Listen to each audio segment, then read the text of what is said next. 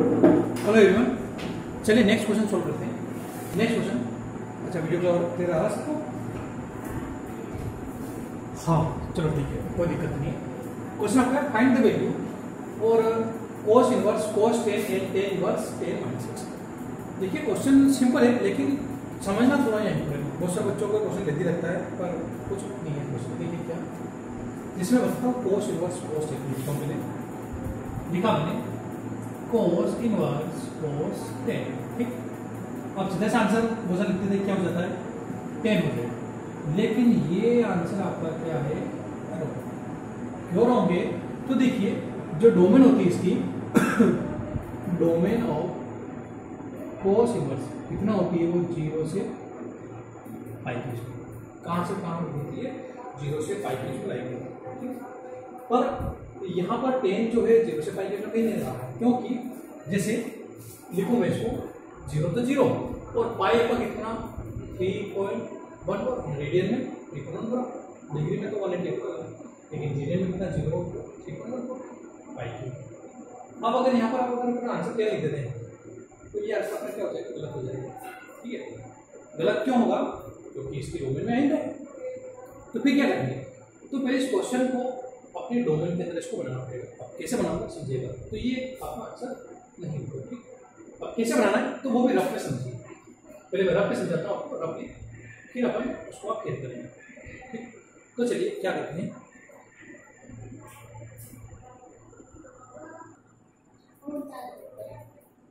तो चलिए, मैं रफ में सॉल्व करता हूँ। देखो, अपने को चाहिए कि कोस इनवर्स क्या हो जाए? लाई करे, इस रेंज में। तो ये कब लाई करेगा? जब ये फ़ंक्शन लाई करेगा आपका ठीक? तो इसको पहले देखते हैं। क्या पर यहाँ पे कोस टेन कोस टेन है? तो इस टेन को समझेगा। अगर मैं लिखना चाहूँ तो उसको लिख सकता हूँ क्या?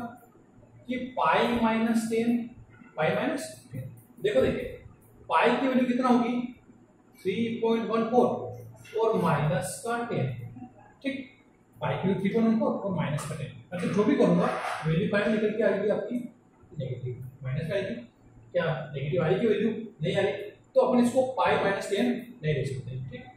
अगर वापस में लिखूँ इसको टू पाई माइनस टेन तो टू पाई तो पाई की three point one four three point one four का मल्टीप्लाई टू से होगा तो आ जाएगा सिक्स पॉइंट टू एट और माइनस टू अगेन जो भी वैल्यू एक टाइम में नेगेटिव जबकि ये पाई में लाइक रहा है पॉजिटिव में तो ये वैल्यू भी पॉसिबल नहीं है। अगले चलते हैं थ्री पाई माइनस टेन अब पाई की थ्री वन फोर तो मल्टीप्लाई होगा थ्री से तो आ जाएगा नाइन पॉइंट फोर और माइनस का टेन अगेन वैल्यू का निकल के आ रही नेगेटिव चलिए अगला चेक करते हैं फोर पाई माइनस टेन और फोर और पाई थ्री वन फोर तो मल्टीप्लाई कीजिए तो आएगा ट्वेल्व पॉइंट फिफ्टी सिक्स और माइनस का टेन अब ये वैल्यू पाई में आ गई आपकी positive twelve point five six अगर टेन माइनस होगा तो टू पॉइंट फाइव सिक्स आ जाएगा पॉजिटिव वैल्यू और two point five six zero और थ्री पॉइंट वन फोर इसमें लाइक कर रहा है। अगर मान लो बड़ा होता थ्री पॉइंट फाइव सिक्स होता तो फिर इसके इसमें नहीं लाइक करता। टू पॉइंट फाइव सिक्स है तो ज़ीरो और थ्री पॉइंट वन फोर इसमें लाइक कर रहा है आपका आंसर यानी फोर पाई माइनस टेन पे आपका ये फ़ंक्शन क्या हो जाएगा? डिफाइन हो जाएगा। तो अब चलिए, ये तो हुआ रफ वर्क ठीक? अब इसको क्लियर कराता हूँ तो लिखते हैं, cos इनवर्स और क्या लिख सकता हूँ इसको? Cos अब इसको टेन को लिखना है तो क्या लिख देंगे? बड़ा ब्रैकेट पहले और अंदर स्मॉल ब्रैकेट क्या लिख सकते हैं? फोर पाई माइनस टेन ठीक क्लियर और आप बता सकते हो सारे, ये आप ग्राफ मैंने बोले क्लियर करो तो भी चलेगा, ठीक है? क्योंकि ये सारा बोले आप क्लियर करो बताओ कि क्यों नहीं करा मैंने तो इसलिए, ठीक तो आप बोले, ये सारी चीज़ें बता सकते हो, ठीक?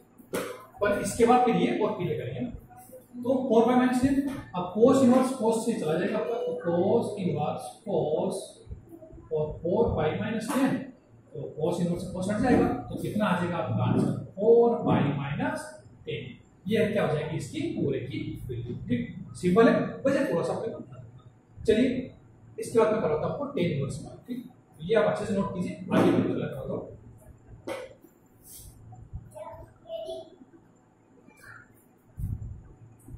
चलिए इसका second part tan inverse tan minus six को फाइंड करना तो वापस पहले तो जो इसकी रेंज होगी, क्या होगी? Domain sorry domain of the क्या tan inverse tan inverse is और क्या होती है आपका?